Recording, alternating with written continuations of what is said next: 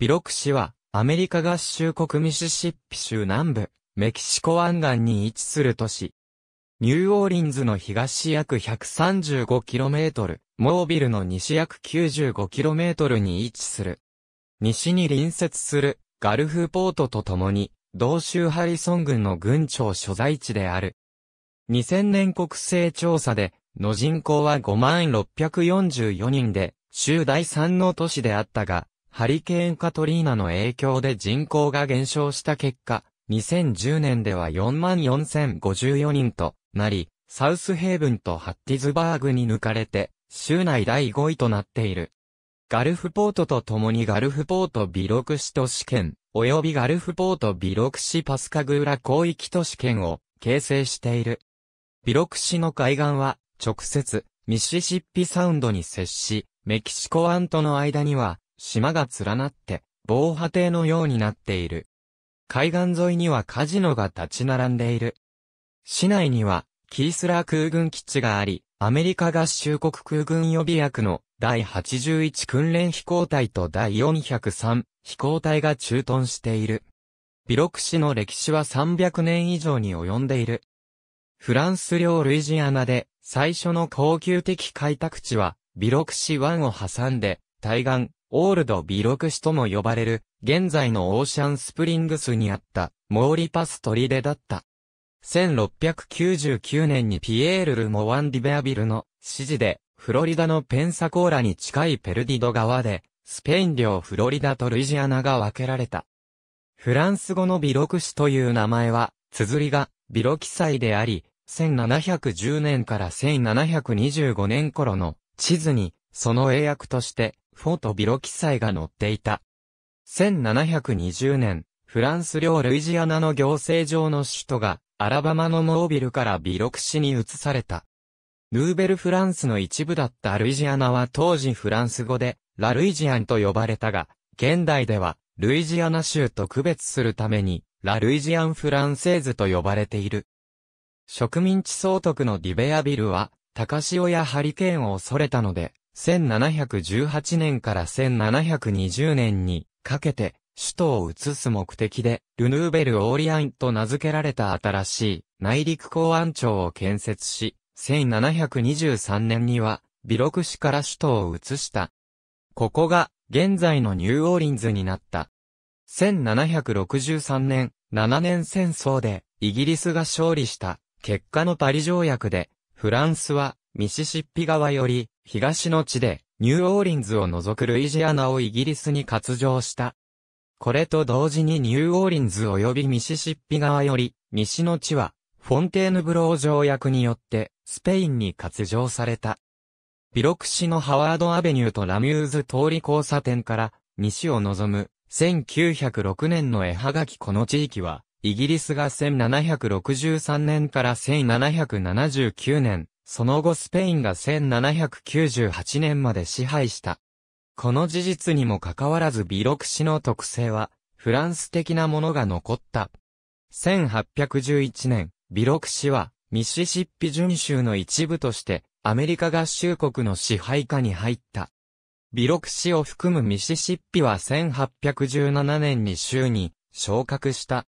この頃からビロク市は成長を始めた。ニューオーリンズに近いことと海に接していることを利点として夏のリゾート地になった。羽振りの良い農夫や商人が夏の家を建てた。自分の家を建てられない者のためにはホテルや賃貸コテージが建設された。ビロク市東大1848年建設、南部では、写真の被写体になることが多いビロク市にある、最もよく知られたものが、ビロク市灯台である。これは、ボルティモアで制作されてから運ばれ、1848年5月に観光した。当時メキシコ湾岸に建てられた12の灯台のうち、残っているのはこれを含め2つしかない。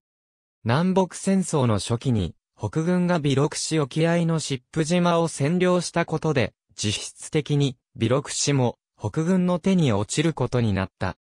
この付近では大きな戦闘もなかったので、ビロク市はこの戦争から直接の被害を受けることもなかった。戦争が終わった後、北部寄りの感情を持つ者もいた。戦後、ビロク市は、再度観光地として発展した。鉄道の開通とともにその人気も高まった。1881年、町では、初の缶詰工場が建てられ、その後その他の工場が続いた。ビロク市が成長し、食品工場で働くために、様々な民族の集団が町に来るようになって、ビロク市は異文化の集まる性格を持つようになった。第二次世界大戦の時、アメリカ陸軍航空軍が、キースラーフィールド、現在のキースラー空軍基地を建設し、それが主要訓練施設と航空機の修理施設になった。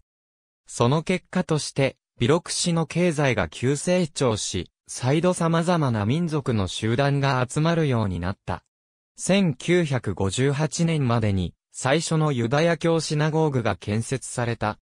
ビロク市のカジノの歴史は1940年代に始まっており、実質的に違法な開放型ギャンブルが、ブロードウォーター、ビートリゾートにあるカジノで行われた。開放型ギャンブルは1950年代に一旦終わった。ミシシッピ州のメキシコ湾岸は、貧乏人のリビエラとして知られるようになり、夏の間釣りに興味がある南部の家族連れが多く、訪れた。漁業でエビ釣りボートや書き取りをする者も多かった。1960年代初期、メキシコ湾岸は、再度北部人にとってのフロリダに代わる南部保養地となり、ビロク市はその中心になった。ビロク市のホテルは、その快適さを増すために改修し、フランスやスイスからシェフを雇って、国内でも最高級のシーフード料理を出した。1990年代は、ミシシッピ州で合法ギャンブルが導入されており、ビロク市は再度姿を変えた。ビロク市はカジノの中心地となり、ホテルなどの施設が市に何百万ドルもの観光歳入をもたらした。有名になったカジノ施設として、ボーリバージュカジノリゾート、ハードロックカジノリゾート、カジノマジック、グランドカジノ、アイルオブ、カプリカジノリゾート、ブームタウンカジノ、プレジデントカジノブロードウォーターリゾート、及びインペリアルパレスがあった。州北部のチュニカ郡と、同様、ビロク市と、そのメキシコ湾岸地域は、アメリカ合衆国南部でも、先進的ギャンブル中心地と考えられた。1989年から1999年にかけて地域の300周年を祝うために市の観光促進機関は全国放送のトラベルラジオショーをビロク市から生放送を送らせるようにし、ウィリアム・バッカスを共同司会者の一人として出演させた。2000年代初期までにビロク市の経済にはシーフード、観光及びギャンブルという3つの柱ができた。ビロク市は、北緯30度24分43秒整形88度55分40秒、北緯30.41194度整形88.92778度、30.41194-88.9277821市、標高は20フィートである。アメリカ合衆国国勢調査局によれば、地域全面積は46.5平方マイル、このうち陸地は38.0平方マイル、水域は8.5平方マイルで、水域率は18.27%である。メキシコ湾岸におけるビロク市の位置、ガルフポートの東にあるビロク市は、同じメキシコ湾岸のヒューストンやニューオーリンズなどと同様に、ハリケーンの被害を受けやすい土地である。1969年には、ハリケーンカミルがカテゴリー5の勢力を保ったまま、ミシシッピ川三角州地帯をかすめて、ベーセントルイス付近に上陸し、その危険半円に入ったビロク市は甚大な被害を受けた。2002年にミシシッピ川三角州地帯に上陸したハリケーンカトリーナの上陸時にもビロク市は危険半円に入り、暴風雨による大きな被害を受けた。しかし、同じカトリーナの被害を受けたニューオーリンズとは異なり、ビロク市では上陸後の洪水による被害ではなく、ハリケーン本体の暴風による被害が大きかった。ハリケーン通過後、カジノ街に近いビロクシ海岸の清掃前の様子2005年8月29日、ハリケーンカトリーナがミシシッピ州のメキシコ湾岸を襲い、暴風、大雨、及び高さ27フィートの高潮に見舞われて、この地域は大きな被害を受けた。カトリーナは午前6時56分の満潮時に海岸に接近した。市長の AJ ホロウェイは嵐の強さと損害について、これは我々にとっての津波だとコメントした。ミシシッピ州知事ヘイリー・バーバーは、ハリケーンカトリーナによるミシシッピ海岸の破壊がアメリカ人にとっての広島市に見えると言ったとされている。8月31日朝、ニュース専門放送局 MSNBC のインタビューに答えたバーバー知事は、ビロク市と隣接するガルフポートの海岸沿いにある建物の90%はハリケーンで破壊されたと述べた。冬型のカジノのいくつかはその支柱から外れて、岸に持ち上げられ、損傷につながった。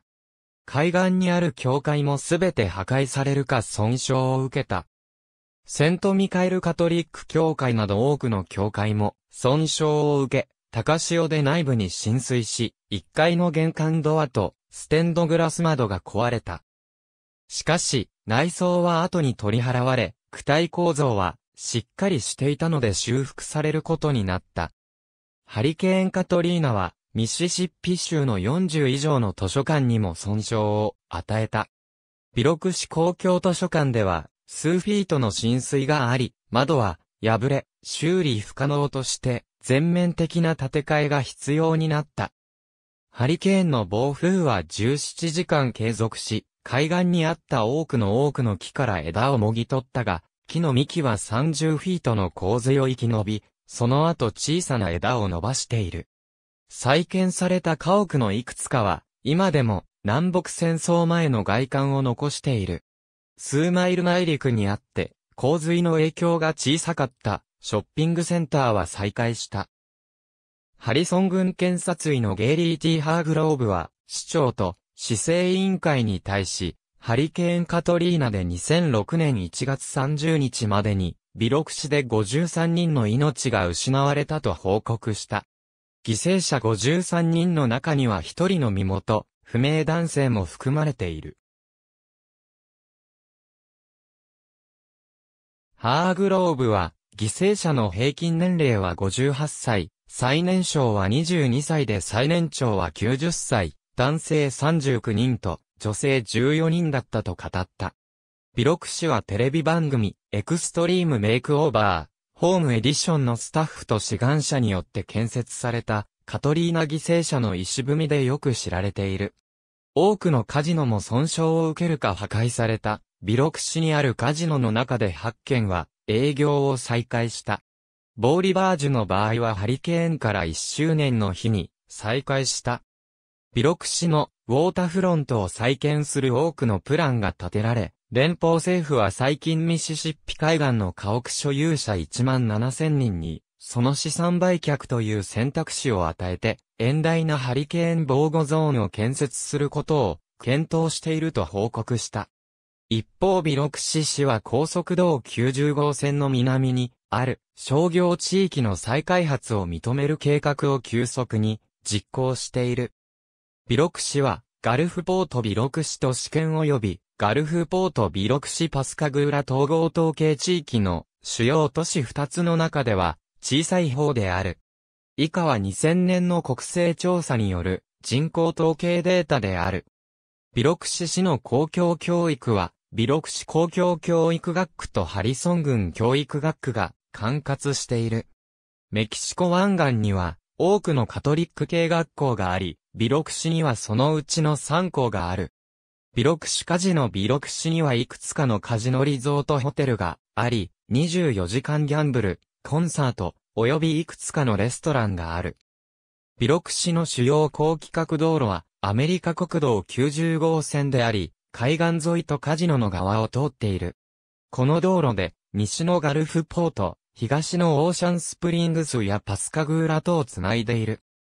ビロクシ湾をまたぐビロクシオーシャンスプリングス橋は、ハリケーンカトリーナの後に再建され、2008年4月に全線開通した州間高速道路10号線は市内の北部を通りニューオーリンズ、ヒューストン、モービル及びジャクソンビルとをつないでいる。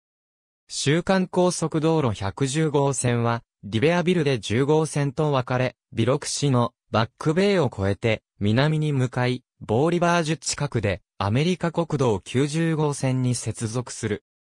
ハリケーンが来た時の重要な対比路になっている。その他の重要道路は以下のものである。空路からはガルフポートにあるガルフポートビロク市国際空港が利用できる。ビロク市は水産生物学者の豊富な水産三日月系という言葉で表される場所の中心にあって、メキシコ湾の北海岸全体に沿って最良のスポーツフィッシングの場を提供している。釣りシーズンには、スポッティドシートラウト、サケ、スペインサバ、キングマッカレル、ヒラメ、フエダイ、ハタ、サメなどの釣りが楽しめる。この生態系にハリケーンカトリーナが影響したかどうかは不明である。ビロク市はアイスホッケーのマイナーリーグであるサザンプロフェッショナルホッケーリーグに所属するミシシッピサージが本拠地にしている。ホームゲームはミシシッピコーストコロシアムで行われている。大青キーフ美術館。ありがとうございます。